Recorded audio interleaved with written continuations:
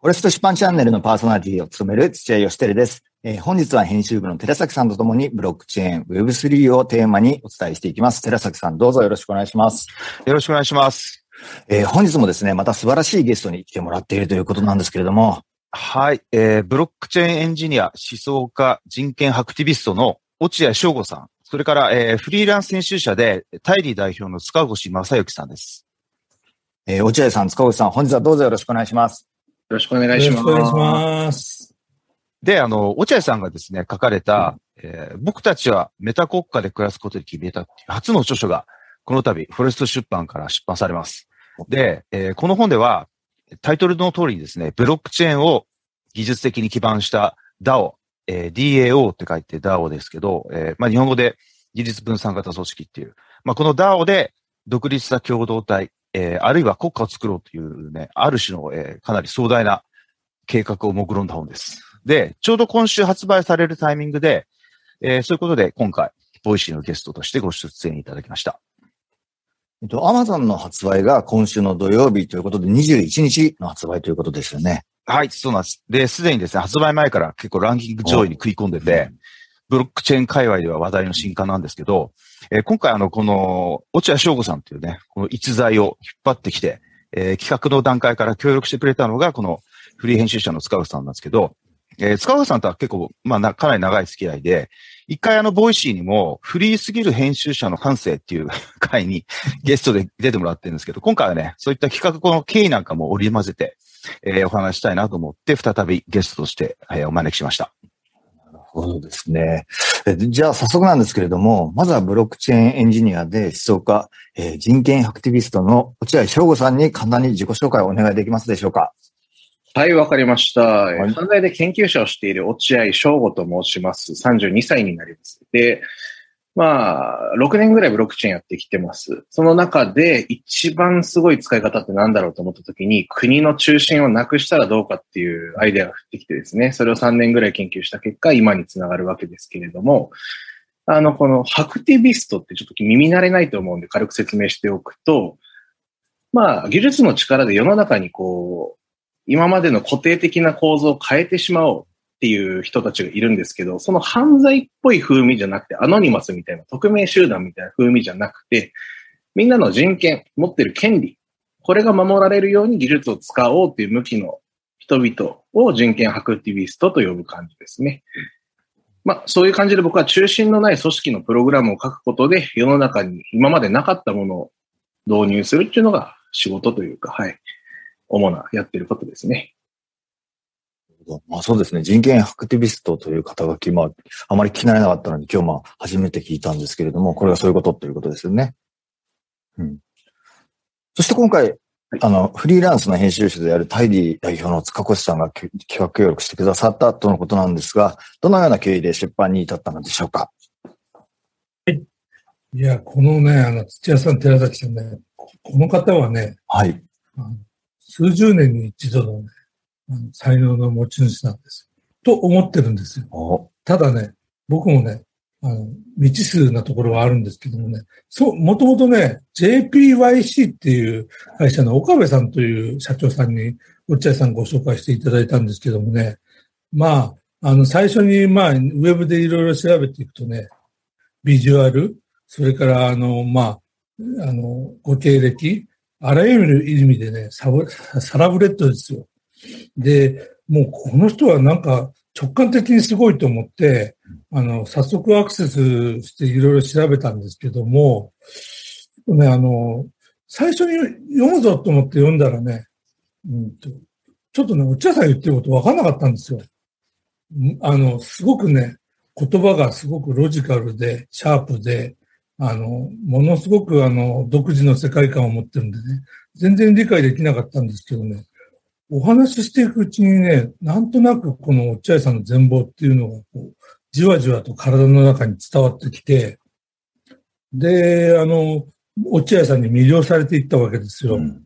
うん、それで、まあ、あのー、彼はね、あのー、えっ、と、彼を徹底的に僕、彼の記事で一番心を打ったのが、ノートの現実と地続きな民主主義の改善という記事があるんですけど、これを皆さん読んでいただくとね、落合さんがあの、肉声で語った我々にもわかるような内容で、あの、全貌を語っていると思います。で、さらに今回のあの本で、落合さんもっと深く、あの、広く皆さんにあのご理解いただけるんじゃないかと思って、あの、発売日をもうワクワクとして、待ってる状態なんです。で、落合さんと出会って半年ぐらいですけども、あの、知れば知るほど、あの、その深みがどんどん伝わってきて、これからね、あの、10年間、もう落合さんの世界かなと思っております。そんな感じです。ああ、なるほど。ありがとうございます。そうなんですよ。で、最初もね、僕もブロックチェーンとか DAO とか全然ちんぷんかんぷんだったんですけど、塚沖さんがあの、フリーランスの立場で、今 Web3 界隈の企画を結構複数進行させてて、で、ある日ね、すごい人がいるんだよって、ものすごい興奮気味に電話してきて、まあなんかちょっと半分勢いで企画した部分もあるんですけど、はい、でもそ、で、そもそも扱うテーマがね、結構難しいので、実はね、結構これまとめるのが大変だったんですよ。ただ、あの、私も落合さんとこう、お付き合いする中で、そのすごいレイヤーの高い、えー、世界観、先ほどのノートの記事とかもそうですけど、そういうものに刺激される形で、最終的にはなんか関係者一同のね、熱いエネルギーが凝集して、うまく着地した、みたいな、そんな感じです。うん、ものすごいその、盛り上がって、なんか熱量がある感じで今回の一冊はできているということなんですかね。そうですよね。で、塚川さんね、結構関わる人も多かったし、なんか、盛り上がったよね。そうですね。今回は、あの、もう落合さんの人脈で豪華なゲスト陣が参加されてまして、東京大学大学院教授の、あの、内田先生とか、あの、そその他豪華メンバーが、あの、勢揃いです。で、あの、皆さん、あの、コメントを寄せてくださってまして、それぞれ、あの、すごい深いお話をされてます。で、今、あの、落合さんに言っちゃった落合さんのね、佐賀県にお住まいなんですよ。そうなんですね。そう。で、佐賀県の結構山奥ですよね。ええー、多分。はい、山ですよ。ではないか。で、だから、ね、あの、ちょっと僕行けなかったんだけど、スターウォーチさんが佐賀まで、えー、取材に行って、一緒に温泉入って、入ったりとかっていう、なんかそんなようなことで、えー、作り上げた感じです。今日は今これ実はズームで繋いでるんですけども、佐賀からはい、これ佐賀です。古民家を直して住んでおります。ええー、あ、すごいいいですね。村作っていきますね、これから。あ、あ、そういう風な活動もされてるんですね。そここで実際 DAO を使っていくってことですよね。そうですね。あの、実際に現場で、あの、 pain を抱えてる人と暮らすっていうのが大事と思ってます。なるほど。そうですか。まあ、ちょっと今日はですね、本当にいろいろ聞いていきたいなと思うんですけれども、まあ、先ほどからたびたび話に出てくるブロックチェーンについて、まあ、実はちょっと僕もよく分かってるようで分かってないんで、この辺教えていただけますでしょうか？はい、えー、ブロックチェーンっていうのはものすごく簡単に言うとですね、あの、もう何万個も無数のノードが、サーバーが世の中にあって、しかもそれが出たり入ったりしてるんですね。これって、みずほ銀行とかみたいな、ああいう硬い会社のサーバーで考えたらありえないことですよね。あの、僕が今から、あの、UFJ の、あの、サーバーを立ち上げて参加しますって言ったら、残高書き換えられそうでめちゃくちゃ怖くないですか？怖いです。だから、硬いんですよ。普通金融のシステムとか、そういう契約とか扱うシステムって。でも、参加者が自由に出入りしていて、不思議な性質を持っててですね。これがあるから、あのね、例えば、日本中国が起こったある一個の銀行を潰そうと思えば、うん、まあそのサーバーを全部根こそぎ消せばいいわけですよ。なんだけど、ブロックチェーンって2万個あったりして、出たり入ったりしてるから全部を潰すっていうのが無理なんですね。って考えると、まあ絶対に潰されないものっていうのがブロックチェーンですね。なるほど。で、僕もにわかなんですけど、えっ、と、今 Web3 って言われてるのって、Web1 がインターネット黎明期で、Web2.0 がまさに今インターネットの活用って SNS とか高度なコミュニケーションが実現したものの、一方では GAFA みたいなそういう大きな権力が出てきたっていう、今まさに我々が生きている時代で、Web3 はこれからこの GAFA とか政府といった中央がなくなって、今おっしゃられたそのブロックチェーン、潰されないブロックチェーンによる事実分散型のシステムが実現するのかこれからっていう理解なんですけど、えー、その後今盛んに言われているその Web3 とか Web3.0 っていうのは、つまりすべてブロックチェーンがあるから成り立つと考えていいですか？えっ、と、そうですね。基本的には潰されないシステムだとか、その潰されないシステムから成り立っていく、その、契約っていう概念の相手方が別に特定の個人がいなくても契約できちゃう。インターネット上に書きかけの契約をポイって放流させて、何年か、何年か経ってから他の人がその契約を締結するみたいな、今までありえなかったようなこと、不特定多数の顔の見えない相手と時間差で契約できちゃうみたいな、全く新しいこととかができてくる。これを使うのが Web3 っていう感じなんで、広いですね。Web3 っていう概念の範疇は。ああ、そっか。そういう契約がじゃあそうなんですね。相手がいなくてもできてしまうと。なるほど。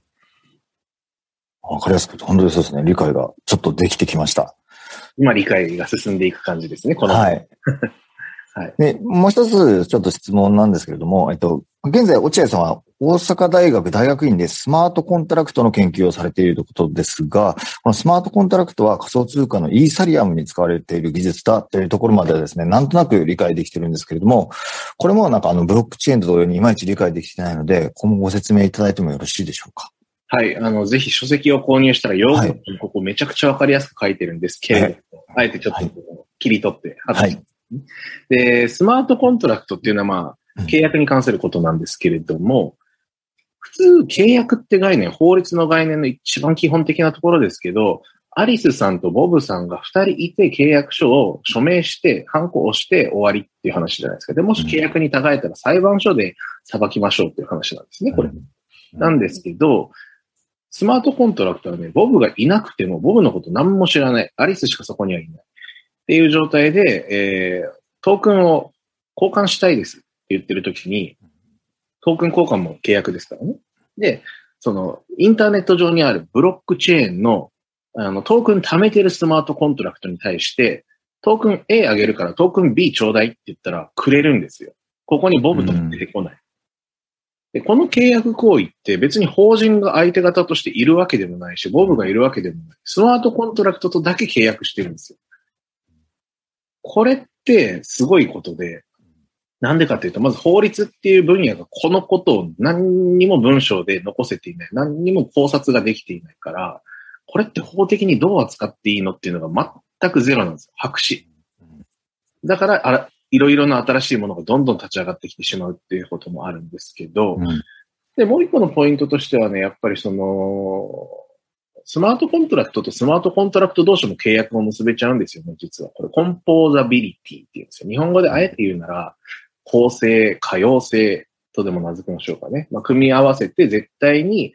毎回同じ結果を返してくれたり、絶対にその今故障中ですみたいなことを言わないような安定感がある組み合わせ可能なプログラムなんですけど、うん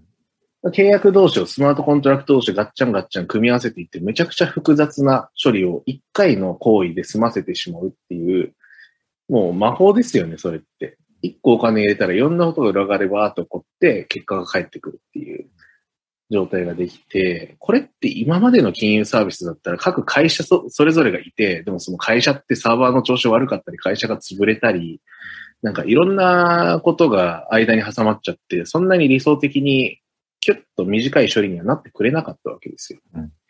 例えばその、お金一つ取っても、そのデジタルの、あの、 PayPay のお金と実際の PayPay の会社の銀行に入ってるお金って別管理じゃないですか。価値を二重に管理しちゃってるんですよ。今の僕たちが使ってる金融サービスって。だけど、スマートコントラクトの世界では価値そのものを操作できる。二重管理とかしない。これとかのいろんな性質があってですね。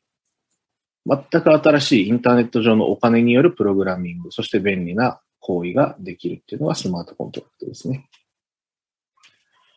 なるほど。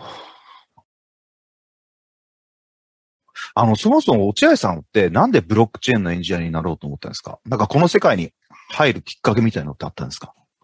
まあでも決定的なきっかけは、インドネシアにいるときに、僕はその、ゾゾタウンのインドネシア版みたいなやつを当時 CTO としてやってたんですけど、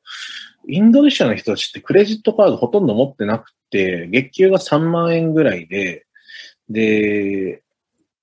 カードないから、その、かけ売りかけとか買いかけみたいな概念ってなかなかなかったんですよ、実はインドネシアって。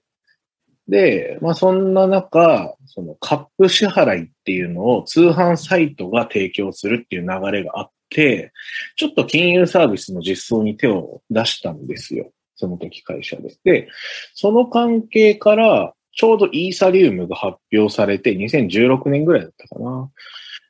で、あ、これって、まあいろいろシステム的にその当時は性能が悪かったりとかいろいろあったけど、いろいろとちゃんと家庭を置いて考えていくと、インドネシアとかの経済ゴロッと根っこから変わるんじゃないかなって思って、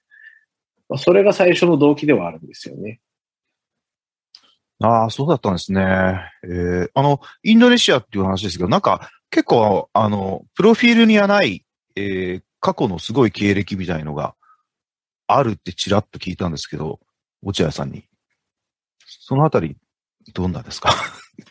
いやー、まあ、投げ出すときりがないですけどね、東京大学でも研究員をしてましたし、あの、今ちょっともうシンガポールに移転しちゃったけど、 Cryptoeconomics Lab っていう会社を創業してやっておりましたし、イーサリウムのなんかデブコン5っていうですね、あの、世界中の開発者が集まるイベントで偶然その時日本の大阪でそれが行われていたんですけど、そこにも自分たちのチームで登壇したりはしてますし、あとはインドネシアに行くっていうのもその前遡っていけば、まあ、当時少なかったですね、インドネシアに行く日本人も何かこうそういうビジネスやってる人とかも。うん。まあ、その時その時で旬なフィールドにちゃんと技術力を持って立ってるっていうのは意識してやってるんで、まあ、あの、話すと長くなるんですけど、いろいろやってます。寺崎さんね。うん。寺崎さんね、落合さんすごいとこってね、あのね、平たく言うとね、今まで儲けようと思ったらね、ものすごい儲けられた人なんですよ。うんうん。だけどね、このブロックチェーンの技術って今ほら、お金儲けに使おうとする人いっぱいいるんですよ。うん。でもね、落合さんね、ななんとね、あの、すごく九州に住んでね、あの、古民家を建ててね、暮らしてるんですけど、なんとね、このブロックチェーンをね、あのえっと、民主主義の改善、つまり人権の擁護にね、適用しようってしてるところがね、他の人たちと違うすごいところなんですよ。いやー、なるほど、うん、そ。そこはちょっと痺れますよね。めちゃくちゃユニークですよ。だって、うん、みんなね、お金持ってしたいのに、落合さん、お金興味ないんですもん。そこがね、そこが面白いところ。うん。いや、そうですから、あの、この間、 TED であの、僕お話しした The Fairest Democracy っていうね、あの、トークやっておりますけれども、これもう3年ぐらいずっと、あの、アイディア自体はみんなの目に触れられる場所に公開してるし、最初は英語版で僕出したんですよ。しかもしっかりとした論文の形で。で、ずっと公開してるんだけど、みんなやっぱりそのお金儲けに興味がすごくあるから、ブロックチェーンに関係する人って。お金っていうものをあの技術力で変えていって世界を変えるんだっていうふうに発想が引っ張られちゃってるから、あの、どうしても人権とか民主主義って、いや、そんなの終わったものだよっていう感じの態度を取る人が多くて、で、3年間全然誰も始めないから僕はアイデアをオープンにしてたのに、仕様までもすべて。から、もうしょうがないから僕が始めようっていうところでやってるんですけど、うん。まあですから、あれですよね、本当に時間をかけて暇をちゃんと作ってブロックチェーンの一番本質ですごいところって何なんだろうって考えたら、本当はお金じゃないんですよ。人間が組織したり、自分たちをその統率する。統率するっていうのは別に独裁者が統率するわけじゃなくて、えー、例えば災害が起きた時に配給をもらう時には列をなさなきゃいけないよねっていうのを日本人はもう感覚で分かってるじゃないですか。ああいうその、統率ってものをどういうふうに取れば一番ベストなんだろうっていうところを考える上で、中心がない組織っていうものができるっていうことは、すごい重要な基礎になってくるんですね、これから。だって今まで中心がないと、偉い人がいないと何もできないって前提が僕たちの頭の中には強くあったわけだから、その凝り固まった考え方を一回捨てれるっていう機会が来てるんですよ、今。なのに、お金の話しててもしょうがないですよ。イノベーションとかどうでもいいんですよ。なるほど。ちなみに今回の新刊でも、この、そのテッドと、テッドトークスのザ・フェアレスト・デモクラシーの、えー、英文と原文と、その最も公正な民主主義っていうタイトルの日本語の翻訳を、えー、全部掲載しています。で、これすごいごく短いスピーチなんですけど、まあ今、落合さんおっしゃられたような、その公正な民主主義国家を作ることも可能だっていう理論が述べられてて、とても、まあ、あの、未来への希望が湧く内容になってます。なるほどですね。ああ、でも本当に僕もそのブロックチェーンとかそういうものに関しては本当にお金のイメージしかなかったんで、まあ確かに今聞いて、あ、そういうなんか大前提のもとになんかこう、やっぱ縛られていたなっていうのをなんかすごい今気づきました。うん。で今世の中がね、物騒になっていろいろあってね、うん、まあ、あの、権、権力のある人がね、いろんなことを、あの、じ、あの、恣意的にね、あの、コントロールしちゃうような世界、これがある中でね、あの、落合さんの今回の本ってすごくね、あの、あの、ちょうどいいタイミングだったと思うんですよ。何かあの、この、今ね、あの、ガーファその他にね、あの、いろんな情報を抜き取られたりね、いろんな権力者が自由に振る舞うような時代にね、あの落合さんの考え方って、すごくね、エポックなテーマなんですよ。そこをね、みんなに知ってほしいと思うんですよね。ありがとうございます。あ、そうですね。まあ、だ今、まあ、言われたような話がですね、まあ、この本のタイトルのメタ国家というふうに膨らんでいくわけなんだと思うんですけれども、えっと、今日はですね、そろそろちょっとお時間ということで、明日もですね、えー、また、えー、お話が聞けるということで、明日はですね、この DAO で国家を作るメタ国家をテーマにですね、さらに踏み込んでお話を聞いてみたいと思いますので、ぜひですね、リスナーの皆さんも明日お聞きいただければと思います。ということで、えー、落合さん、塚越さん、寺崎さん、本日はありがとうございました。ありがとうございました。ありがとうございました。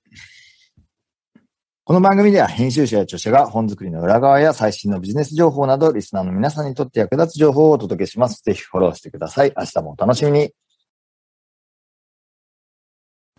フォレスト出版チャンネル、知恵の木を植えるラジオをお聞きいただきましてありがとうございます。音声プラットフォーム Voicyでは平日毎日新しい放送を公開しています。